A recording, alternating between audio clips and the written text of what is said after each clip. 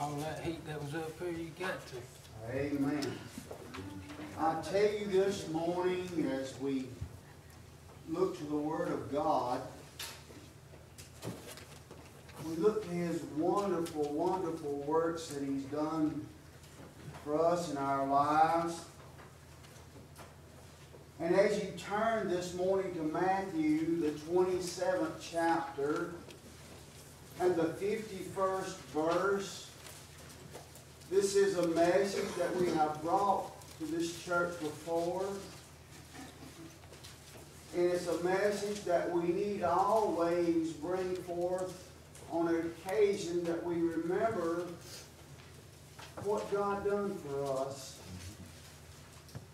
We look to this morning to one of the darkest times in the history of man and of Israel. You say, well, preacher, it couldn't be any darker than it is right now. Well, I can tell you it was darker than it is now because God had to do something special. Jesus hasn't come yet, but for these, this time in which we speak, God had a plan. And it was so sad that God's plan depended on man to do the right thing. To honor God, to worship God, and to obey God. But we find this time that we're speaking of this morning of Israel in its darkest time, God had blessed, and as we say over and over again, He had blessed and blessed, and Israel turned away from God, turned their noses up from their blessings. And God said He must give a sacrifice. I understand this morning that Israel was certainty to give the sacrifice. But they done it to where it seemed as if it was only a tradition for them to do such a thing. It seems that it was never from the heart when they done these. This morning we see that it is a saying today that it is dependent upon man, but God has a plan that was put forth in this reading this morning. This plan was the ultimate plan. It was God Jehovah he said man could not uphold their end of plan A, so plan B. Anybody ever had plan B in their life? You know, we're going to do this, but if it don't work, we're going to revert back to plan B. Well, I can tell you this morning that plan B was the ultimate plan. This plan would not fail because it was God Himself, Yahweh Jehovah as he presented himself into this world in the form of Yeshua, Jesus Christ, God's only Son. To be the ultimate sacrifice that man would not have to rely on man anymore for sacrifices, would not have to rely on a man to take their sins before God. Praise God. That we could take ourselves, that we could come boldly before the throne of God in person via Jesus Christ. We looked this morning because this plan was the plan that would last for all eternity. We see that Israel had become self-righteous in their ways. They were no longer righteous in the eyes of God because they never anymore put God first. Their gods seem to be wrong. Their God to seem to be themselves in their self-righteousness. Even as they looked to the Torah as the words that they read over and over again. It was never about them. It was about the Gentiles, how that they were so awful. And how that they did not have the same God. But can I tell you this morning, this world is in the same condition today. We are a people, listen, we are a church of self-righteous people. Oh, Lord help. With the traditions in our hearts. of how that the traditions of man has carried on in our churches today. But I tell you this morning there was something significant that happened on this day as we look to the first 51st verse of the 27th chapter of Matthew.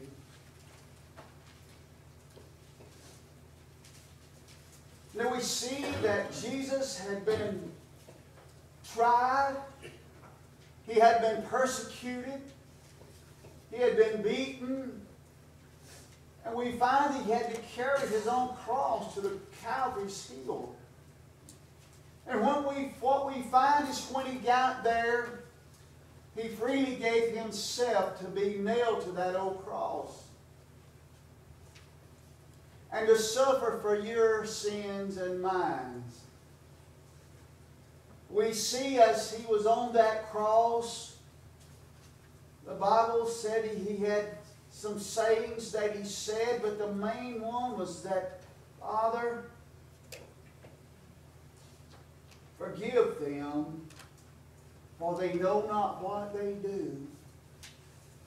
And the Bible says that he yielded up the ghost and listened to what happened in the 51st verse. And behold, the veil of the temple was rent from twain, from top to the bottom. The earth did quake, and the rocks did rent. The significance this morning we want to look at was the veil we find that the veil of the temple was 60 foot tall. Can you imagine it was over six times taller than this sanctuary as the ceiling is this morning? It was a big curtain, a curtain of purple and gold. And behind that curtain was nowhere that man could go. Only one man could make it behind that curtain. And it was the priest that was supposed to have purified himself. That he was the only one that could go in the presence of the Almighty God to make a sacrifice for all mankind. This morning we look to the significance the temple being rent because this was a new way given to man by which we could go before God without going before man. This morning behind the temple, we want to look of the things that has been given to man through the reading of the temple this morning for our comfort, our peace, and for our salvation. Let's go to the Lord. Father, this morning we come into your presence, Lord, with thanksgiving, Lord. This morning, dear Heavenly Father, with a heart willing this morning, Lord, to hear your word and to be, dear Heavenly Father, obedient to your word. Lord, we know this morning there, there are self-righteous people in every congregation that's represented this morning to you. And Lord, we pray this morning that our traditions would be put to the side this morning. Lord, that you may have the freedom to run this morning in our hearts and in this church, dear God. Lord, we know that we love you this morning. And Father, we pray, Lord, as the Spirit moves this morning, Father, Lord, that we will answer, dear Heavenly Father, to the calling in which you lay on each and every heart this morning. Now, Lord, we pray that you'll go with us. Lord, that you'll, dear Heavenly Father, Lord, give us, dear Heavenly Father, the words this morning. Give us the things that you would want to be heard this morning, Lord. And bless this word. Father, for we love you this morning. And we need you like we've never needed you before, dear God. And we ask, dear Heavenly Father, your presence this morning in the name of Jesus. Amen. Amen. We look this morning because man could never know what was behind the veil that stood. Man could only rely on what the priest would say, only what they would read. But this morning there was so much more for man to be able to enjoy in Jesus Christ.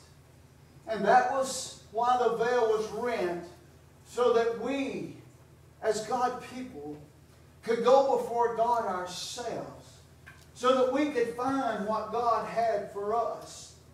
And that is why this morning God has allowed us to have a personal relationship with Him, that we may enjoy the things what was, was behind the veil.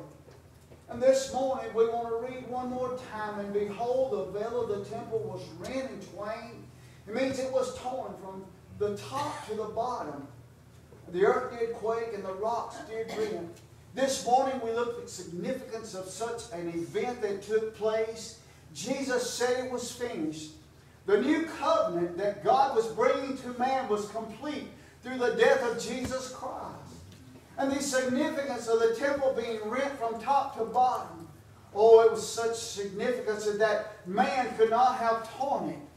Man could have torn it from the bottom to the top. But never could they have torn it from the top to the bottom because they could not reach it. This morning, the significance is that we need to reach Jesus Christ Amen. this morning. Amen.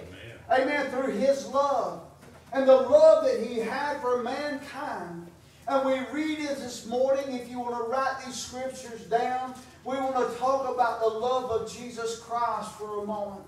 And in John 15 and 13, mm-hmm. these words, I want you to listen to these words this morning. Greater love hath no man than this, that a man lay down his life for his friends. Ye are my friends, and if you do whatsoever I command you. Listen this morning. This morning God has commanded us to be obedient unto His word. He said, My sheep hear my voice, and He said, My sheep follow me. This shepherd, when he carried his sheep out, listen, uh, sometimes he would have up to 20 or 30 sheep at one time. And we know that sheep are much like church members today. We find that sheep are wanderers, and it took a shepherd to keep them confined. It kept a shepherd to keep them on the right path. The Bible tells us that Jesus is our great shepherd. And every day this shepherd would lead his sheep to a place of plenty. He would lead them to a place where they could go and they could graze. They could fulfill the bodily desires of food and water. And we find he would take them to a peace where they could lay and rest. And we find that when it was time for them to go back, this shepherd would call out there to them. And every now and then there would be one that would like to look for greener grass, we'll say. And this sheep would wander. That's why sheep are wanderers. It seemed that everywhere there was something greater, some, something better out there. And we look today and we find that our churches are full of these wanderers that there's always something better somewhere else. Well, let me tell you this morning if you're looking for something better somewhere else, you will be disappointed when you get there because you bring your disappointment with you. Amen. Amen. Oh, you find, think that you found a perfect church. But when you get there for a little while, you find that it's not so perfect because of you. That's right. But we have a shepherd this morning that will keep us pointed in the right direction if we will look to him. We see that old shepherd's uh, stick that had that crook in it, and that shepherd sometimes may have to grab that sheep and may have to draw it back in. This morning, our shepherd is one as we read in our uh, Sunday school lesson, I believe it was last week, he chastised those whom he loves. I believe Richard brought that out, Brother Richard. And he does. But this morning we look at this great love that Jesus had for us. Uh, this morning, uh, y'all bear with me. I'm going to turn to 1 John. Write this down. 1 John 4. 1 John 4. And we want to read uh, 7 through the 10th verse. And he says, Beloved, let us one love one another, for love is of God. And everyone that loveth is born of God and knoweth God. He that have he that loveth not knoweth not God, for he is love. And this it was manifested his love toward us because God sent his only begotten Son of the world that we might live through him. Now listen, here is love. Not that we love God, but that he loved us and sent his Son to be propitiation, propitiation for our sins. This morning we find that this love, this true love, was never found by the people of Israel in that day. They could never find this love that we can have in Jesus Christ. Every morning we have the opportunity to wake up. And every morning we have the opportunity to present ourselves before God because of His love that He had for us. This morning we find that His love, He sent His Son that we might have the boldness to enter into the throne of God, to make our petitions known of God. That we might make our petitions known to God. And so many times in our life we misuse this, this uh, opportunity that God has given us through His love. How many times do we wake up every morning, maybe late for work, maybe late for an appointment, maybe late for church?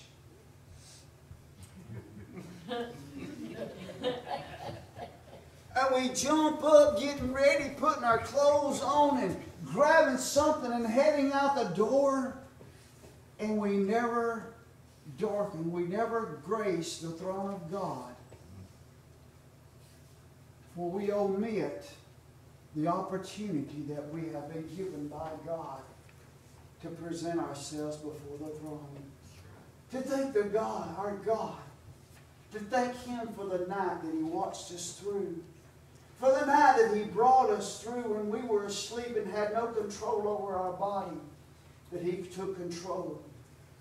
I'm so glad this morning that we have that opportunity this morning to say, Lord, I love you. And dear God, I worship you with all of my heart. Lord, I praise you. I praise you, Lord, for my goodness, for the goodness and the mercy that you bestowed upon us. As David said in the 23rd Psalms, he said, Surely goodness and mercy shall follow me all the days of my life. And what will happen from that? And I will dwell in the house of the Lord. I will never forget His goodness. I will never forget His mercy. I will never forget the love that He showed to me. And we find this morning the next thing that was behind this veil all that the people were never able to receive personally. They received it as a nation. We know that there was a great sacrifice that was made every year for the sins of the nation.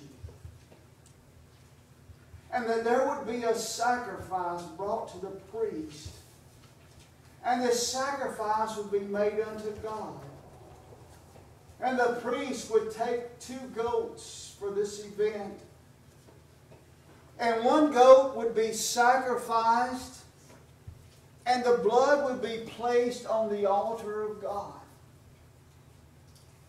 And the other goat would signify the sins of Israel. And that goat would be released out into the wild, into the wilderness. And there would be priests along the way that would signal the goat as it went further and further as it was released until it got out of the sight of the last priest. And then the sins of Israel would be forgiven. Today I tell you that there is no need for this great sacrifice right. of goats and bulls. We find today that there was a sacrifice made for each and every man, woman, and child that is represented here today. Amen. This sacrifice was not of an animal, but this sacrifice was one of my Savior, Jesus Christ. Because of the mercy that God had upon mankind, because mankind was in its darkest state of history, and that it could not find its way to God. So God had mercy on every man, and this mercy was found behind the veil in Psalms 103 and 8. He says, The Lord is merciful and gracious, slow to anger, and plenteous in mercy. And we find now that this was the Psalms of David, but we find now in the New Testament this very same verse. The Bible tells us that God is long suffering toward man. Every day, God gives us a new opportunity. Instead of writing us off, God is long suffering that none should perish, That's right. but that all should come unto Him, Amen. should come unto repentance. Today we find that God's mercy is still available. God's mercy is still here for mankind, for each and every man, woman, and child today. He is plenteous and He is gracious. In Ephesians 2 and 1, and you have He quickened, who were dead in trespasses and in sins. For today we find that we have all sinned. Romans 3 and 23. For all have sinned and come short of the glory of God. But God's mercy is still plenteous. Thank you, Lord. God's mercy is still available today if we will reach out and say, Lord, have mercy on me, for I am a sinner undone, for I am a sinner lost and without hope. God, please accept me today as a sinner. And I tell you that His grace, grace was abundant behind the curtain because that was where the priest would go and meet God. God's grace was there in Ephesians 2 and 8. We talk of grace, for by grace are you saved through faith, and that of not, and not of yourselves. It is a gift of God.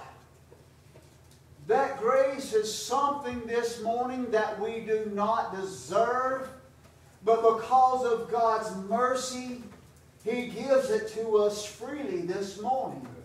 If we will only ask, if we will only look to Him this morning. For I tell you this morning, this grace was given to all through Jesus Christ when He hung there on this cross that we read this morning. And when He said it is finished, this plan of grace, this plan of salvation was brought to each and every one of us this morning.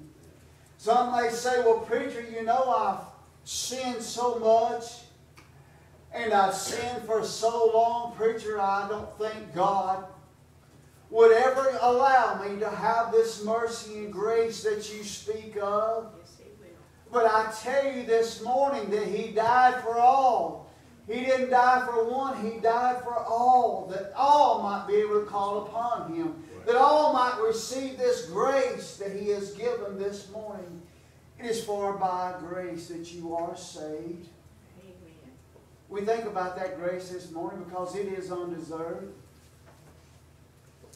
We were yet sinners when we come into this world. And without Jesus Christ, we will be sinners when we die. And without Jesus Christ, we have no hope of eternity with Jesus. And it's this grace that He has allowed us to have that will lead us to an eternity in heaven. We find this morning that behind this veil there was a forgiveness. But this forgiveness was for a nation. This morning we look to this forgiveness today as a personal relationship this morning. You know, there are people today that we do wrong or that wrongs us.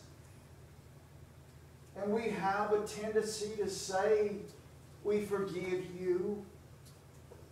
But we also have this tendency to hold it somewhere back here or back here in our hearts.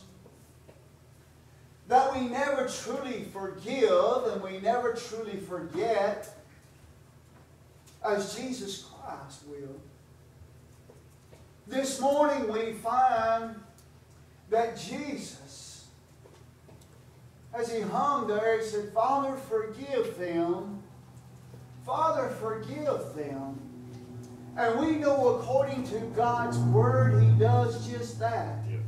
He said he would cast our sins as far as the east is from the west to be cast in the sea of forgetfulness, never to be remembered anymore.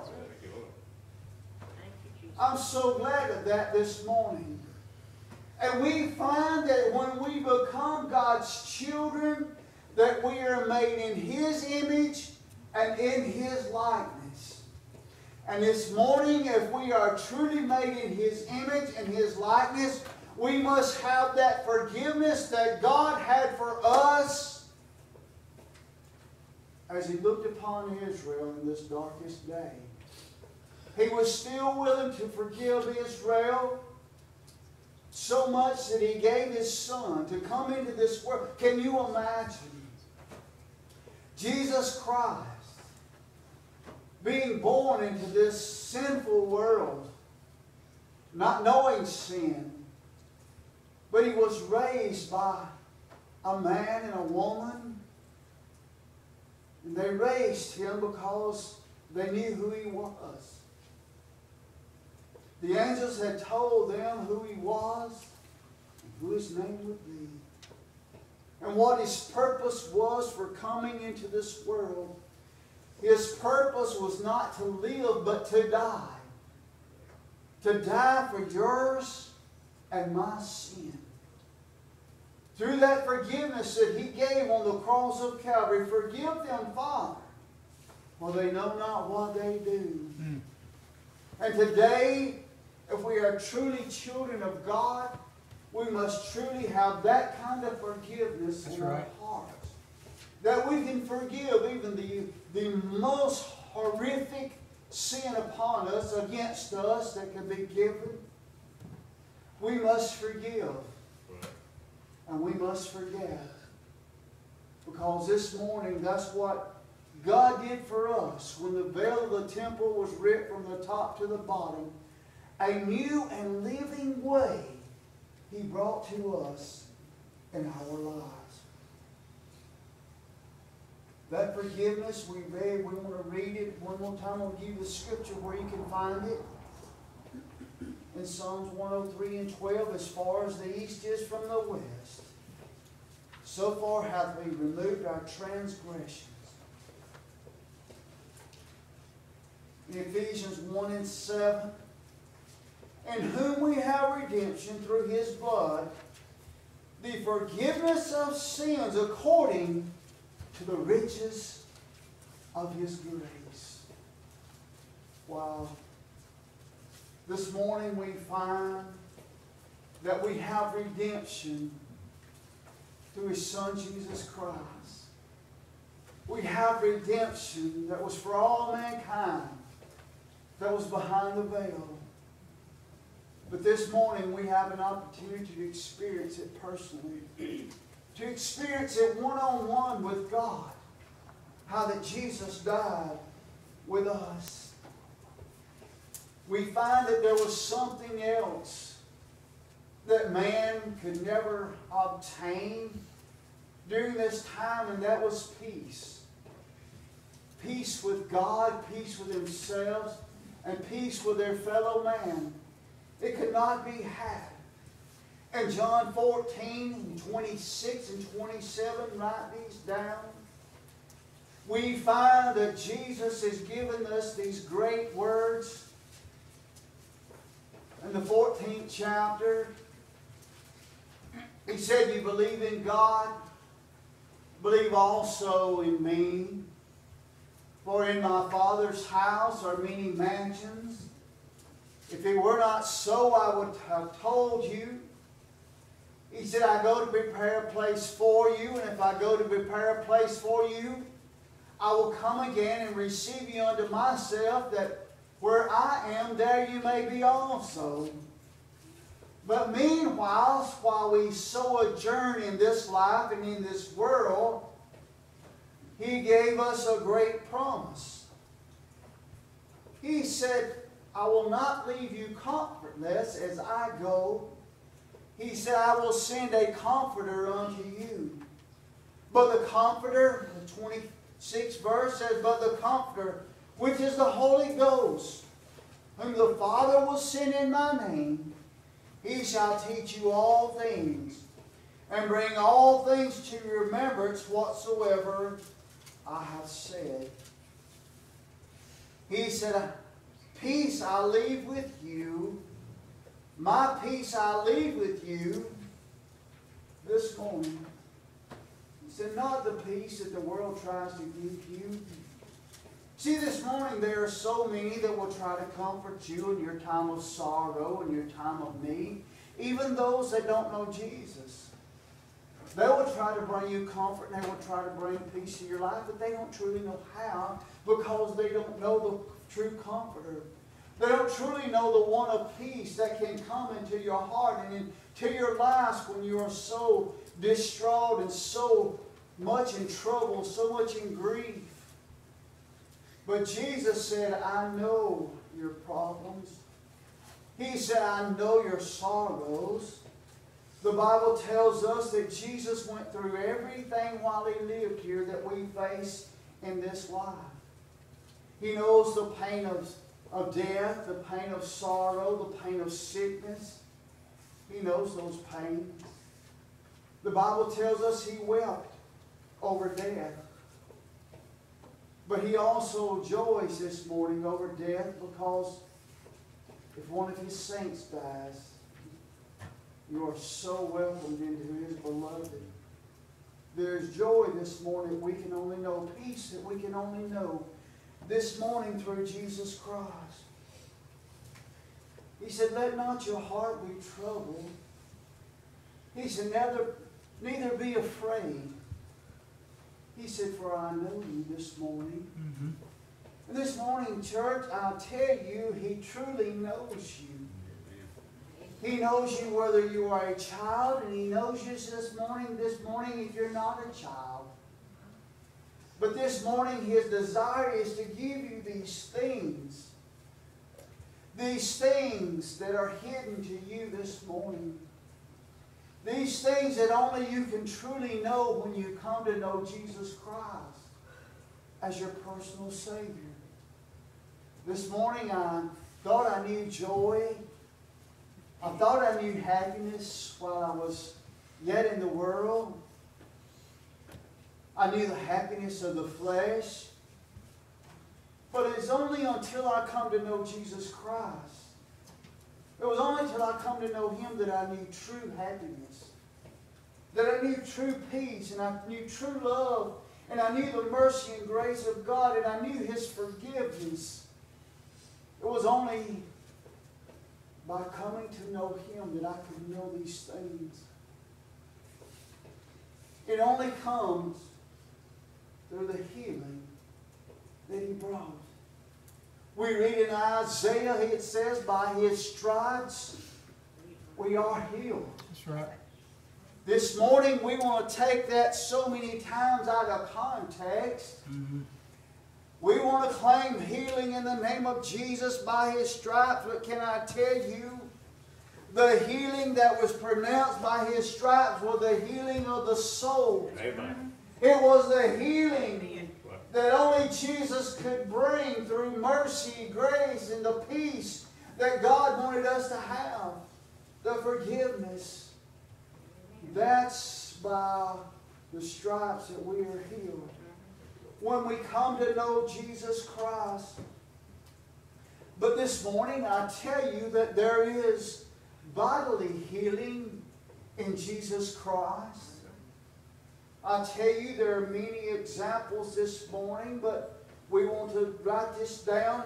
Luke, the fifth chapter, the 19th verse, we read of a people that had heard about Jesus Christ, that had heard about His healings, and how that He was touching the lame and he was making them to walk again. He was causing the blind to see, the deaf to hear. Those that couldn't talk to be able to speak again. They were hearing of these great miracles that Jesus was doing. And this group of people had a friend that was lame since birth. And they knew the faith that they had they knew that if they could just get their friend in front of Jesus, they knew that his faith and their faith, he could be made whole. That he could made, be made whole.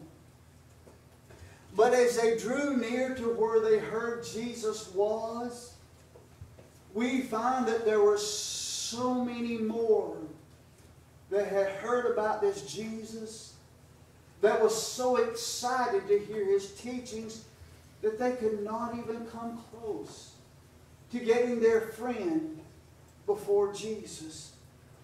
Can I tell you this morning that behind the veil there was this opportunity for each and every one of us to present our friends, our family, our loved ones before Jesus Christ this morning without having to fight the crowd? That we can take them before the throne of God this morning and present them to Jesus Christ. But here in this story we, we read that they could not get close. And one of them had the bright idea. Hey, let's go up on the roof.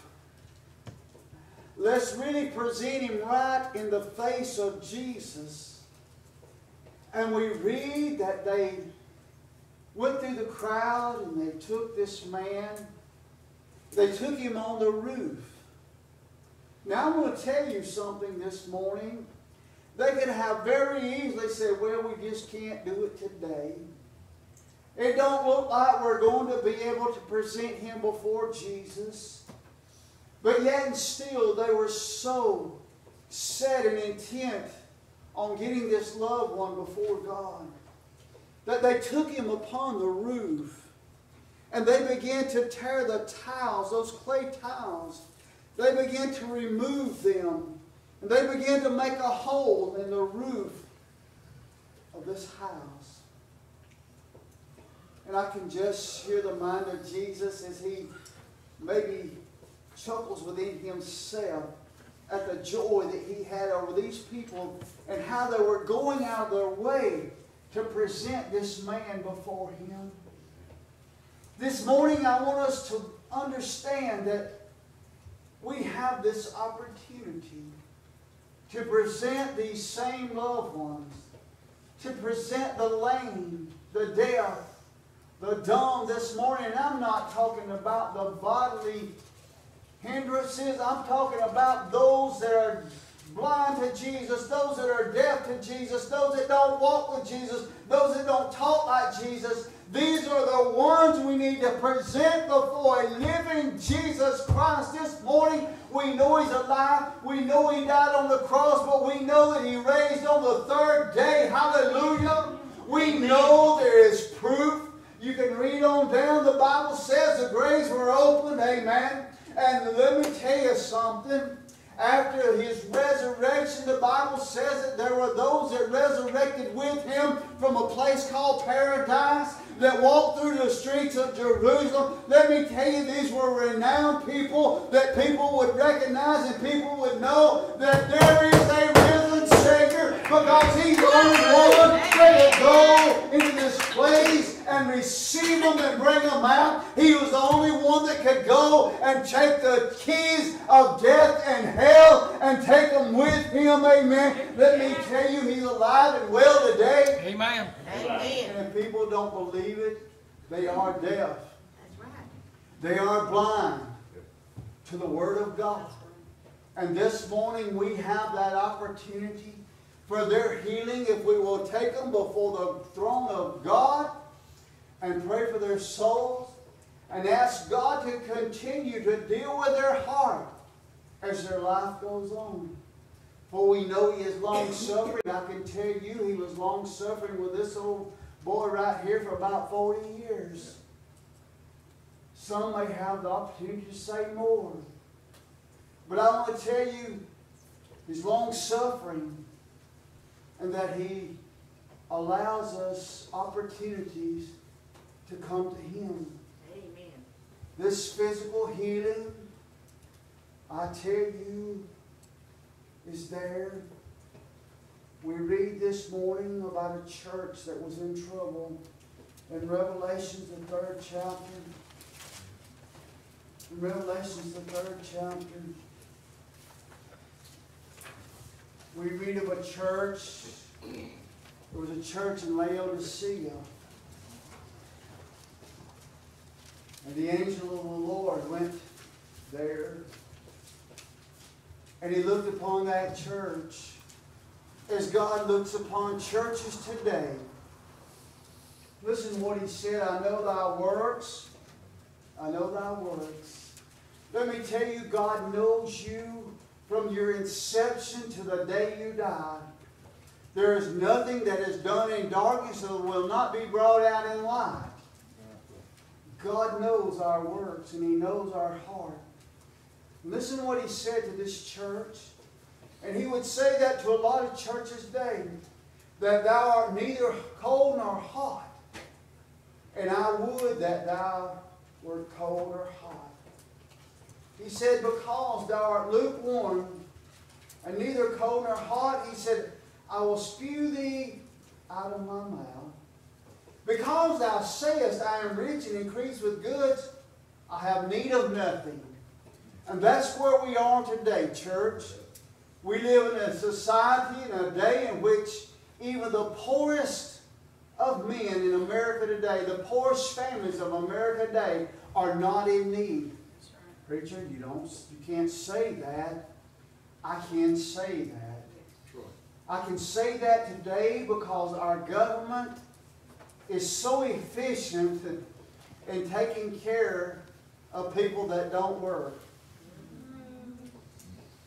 We have a, a government today that is very persistent in taking care of our young ones. Food stamps are available. They send out checks. And we find ourselves today not in need of Jesus Christ because we find that we are self sufficient in our lives. Can I tell you today, you're not self sufficient if it were not for the grace of God that allows you to get up and go to work every day. I said go to work, I didn't say you work. He allows you to go to work and He allows you to receive a paycheck. We think we do it on our own. But it's not us. We don't have the ability to do anything within ourselves. It is by God's grace. It is by God's healing. Listen.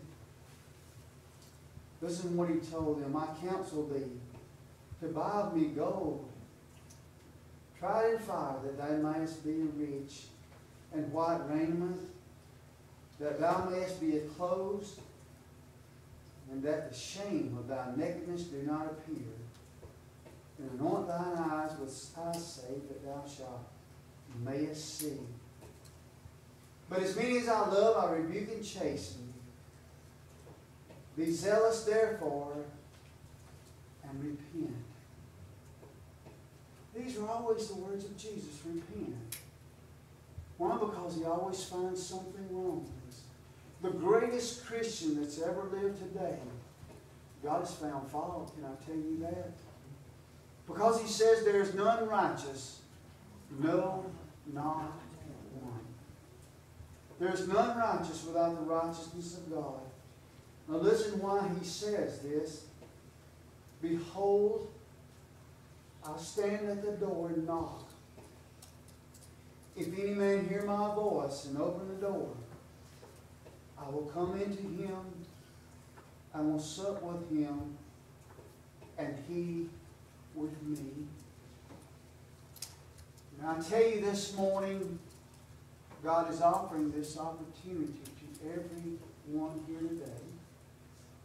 That if you don't know Him, this is the perfect time to know Him. For He says, All that come, I will, not, I will cast none aside, I will reject none. All that come with a true heart and a true repentance, I will not cast away. This morning, this is so wonderful this morning that we serve a God that man could never receive these things on a personal note. He had to receive it as a nation. This morning, God has opened the door that we may receive it and have a personal relationship with Him. That all these things are available to us every day, every morning when we wake. His sufficiency is there with us. We know that Paul had a thorn in his side. He prayed for God to remove that thorn. When he told Paul, he said, Paul, my grace is sufficient for thee. Can I tell you, God's grace is sufficient in every day for every problem and every care that we have. And we're going to close with this this morning. We're going to close with another healing this morning. God has a healing for this nation. God has a healing for every nation. If we would only do what He calls for us to do.